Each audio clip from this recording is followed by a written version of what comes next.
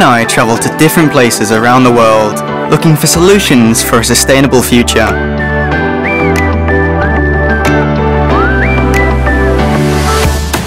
Of course, we look at visible outcomes such as products and services, but what we really focus on is process.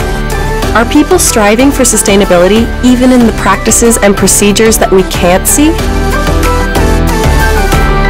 How's the engagement for our latest project? It's really shot up. People's interest in sustainability definitely seems to be rising. You can see a big increase in the related data here. Anything can become data. Our words, movements, tastes and curiosities.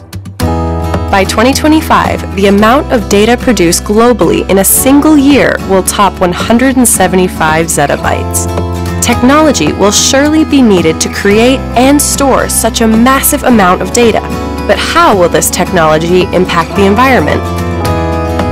What I want to find out about now is not the technology that we've seen on our previous journeys, but a more fundamental technology.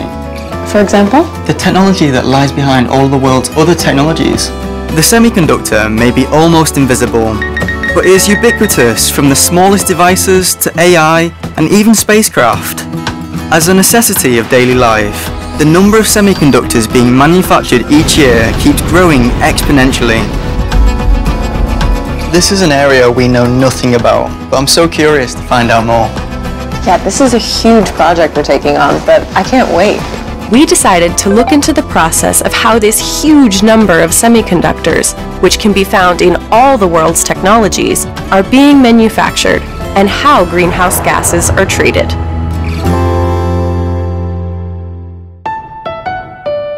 Wow, this is definitely not like any factory we've covered before. It looks like more like an eco-friendly university campus than a factory. The production line requires temperature and humidity to be kept constant for 365 days a year.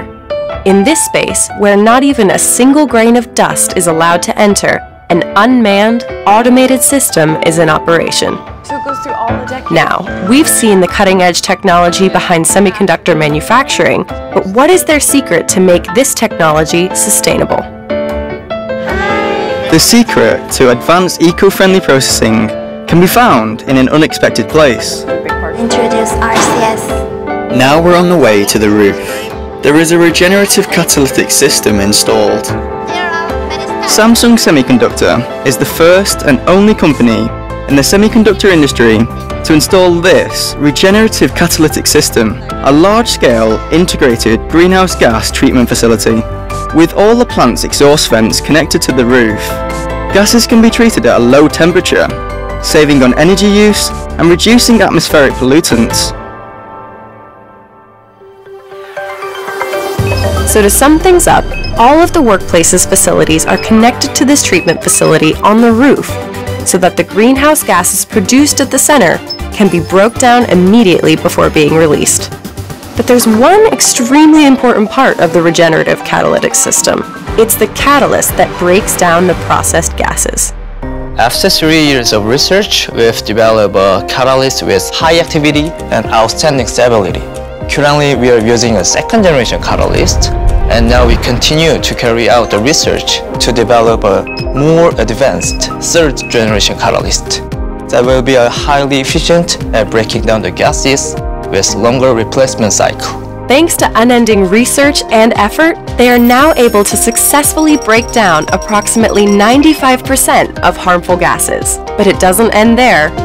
We are currently performing research with the goal of replacing all of the top five carbon and fluorine-based gases that contribute to climate change. Starting in 2018, a part of our products have been made using a C4F8 replacement gas called G1 gas that we developed ourselves. So they haven't just been researching one single solution. They construct the RCS, develop catalysts to improve performance, and even develop replacement gases. Why? The ultimate goal of Samsung Semiconductor is to reduce its greenhouse gas emissions to zero the Intergovernmental Panel on Climate Change has committed to take action to limit the global rise in temperatures to 1.5 degrees Celsius. To this end, the world is joining forces to achieve carbon neutrality by the year 2050. Samsung Semiconductor has been making significant progress in its goal to achieve carbon neutrality through the use of renewable and newly developed sources of energy. Its plants in the US, Europe and China have completed their transition to 100% renewable energy. One of the first to complete this transition to renewable energy was this plant in Austin, Texas. As a world leader in advanced semiconductor technology, we're really proud to have received the industry's first triple standard for carbon, water, and waste by Carbon Trust. That took a tremendous amount of effort over multiple years. In order to expand the use of renewable energy, Samsung Semiconductor is rapidly transitioning to power purchasing agreements instead of renewable energy certificates. Plus, by adopting strategies tailored to each location, they intend to update all of their plants to run on 100% renewable energy by 2050. It was surprising to discover just how much sustainable technology has developed. But even more impressive was the mindset of the employees. Many people are trying very hard to solve this problem.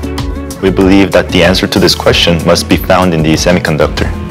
It is not something can happen as a result of one person's exceptional idea. The entire department and all the employees work together, and that's why we are seeing this result. There's a real difference between 99% and 99.99%. So that's why we continue to research and develop in order to increase the result by 0.01%. These people have shown us why solidarity and cooperation are so important to combating climate change. In 2021, they saw a reduction of 6.03 million tons of greenhouse gases through greenhouse gas reduction projects. The amount of greenhouse gases that 92 million trees can remove in 10 years was eliminated in a single year. It's now been 23 years since we first began our efforts to reduce greenhouse gas emissions in 1999. We've always had just one goal to develop eco-friendly technology so we can reduce the environmental impact of semiconductors to zero. That's why we work so hard to develop technology that can make technology sustainable. To reduce the environmental impact of semiconductors to zero, we'll continue to do our best, step by step, so as not to leave behind even 1%. This journey was an unforgettable experience. Samsung Semiconductor has shown that technology can be the answer to a sustainable future. One person's dream may remain just a dream, but when everybody dreams together, it becomes reality.